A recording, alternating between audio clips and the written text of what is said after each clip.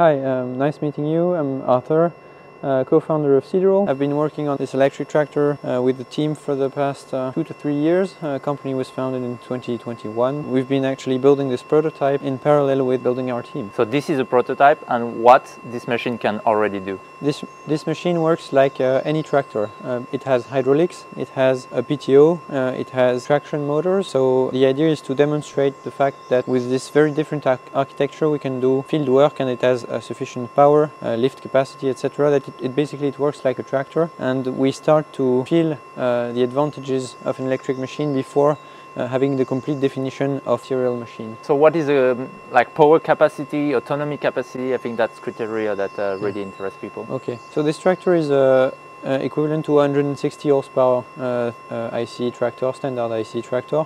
So mid-range horsepower tractor and it can do anything that a, a 160 horsepower tractor can do with a, a, bit more punch actually. Okay, so like for example today and we're gonna see it later, we have a, a plot in the back of the tractor and this is the kind of things that the tractor can already do this yes. prototype yeah. what is the key differences between a classic um, architecture of a tractor and this electrical one as you can see uh, we started this prototype from an existing machine uh, we launched this project with integrators when we were only two three on, on, on the project and uh, as I mentioned the idea was to learn uh, as fast as we could um, and so we implemented in the tractor the vision of a decentralized power architecture. So we have motors dedicated to different functionalities exactly.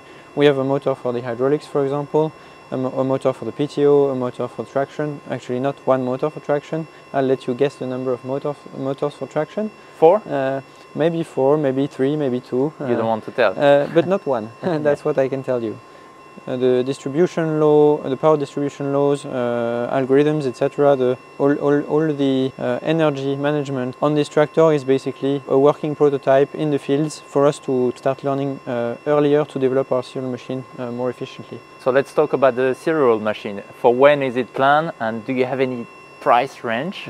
price range is difficult to communicate uh, in early stages of project. What we can tell for sure is that it's going to be, uh, it's not going to be uh, cheaper to buy, but it's going to be cheaper, much cheaper to run. Concerning the main architecture of the next version, will it be like basically like the DCB model with two wheels from the same side? This was an existing machine before we uh, actually uh, completely reworked the internals of the machine. Um, the reason for uh, going with this machine at the beginning is because it's one of, of, the only ones that has a chassis. So it was simpler to integrate everything. Uh, our next tractor will also have a frame uh, but it's thought with the specificities of uh, field applications and for field applications we believe actually that uh, bigger wheels at the back and smaller for wheels traction. at the front for traction makes sense. For revealing the serial definition of the track, we plan to reveal it in 2025. Concerning the weight, you said that you use the mainframe, so I guess you are not... What is your targeted weight? Actually, this machine is uh, lighter than what it was before uh, we, work, we worked on it. It's 7.2 tons. Our studies are sufficiently advanced so that we can say we will land around 8 tons. 8 for, tons? Yeah, around 8 tons. For the same uh, power? For the same power, shorter wheelbase, bigger wheels, our cabin, our frame, etc. Yeah. Okay. You can maybe uh, go on the cab, and I guess that's a classic cab, but uh, maybe you have a couple things to show us. M maybe, yeah.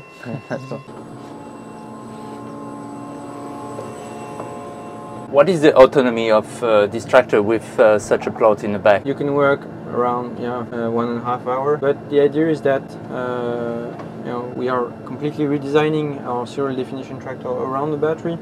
So the range you can expect on, on our next tractor is actually around times four that. So you will be able to plow for around six, six, uh, six hours. And the idea uh, is you can add uh, a, a, battery instead of uh, just a dead weight at the front which you cannot swap. You can uh, also fast charge the tractor in two hours. So let's say you can do a six hour half day plus two hours of charging plus six hours. Five hours of plowing in a day, it's enough. And even if you add like uh, four times more battery and autonomy on the machine, you will still be able to fast charge uh, in two hours, three hours. Yeah.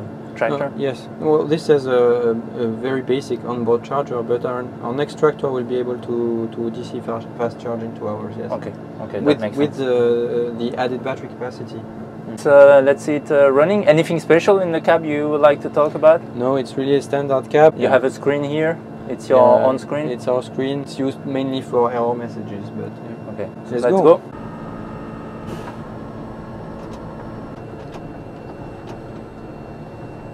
With such a plow, yeah, it, it, depends on the soil conditions, but today it's 9-10.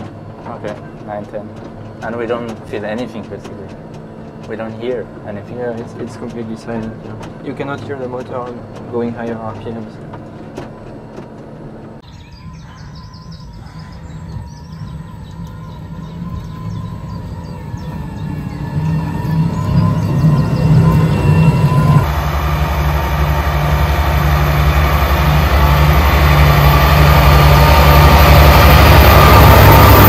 it's a very nice uh, job to do in an electric tractor. Yeah.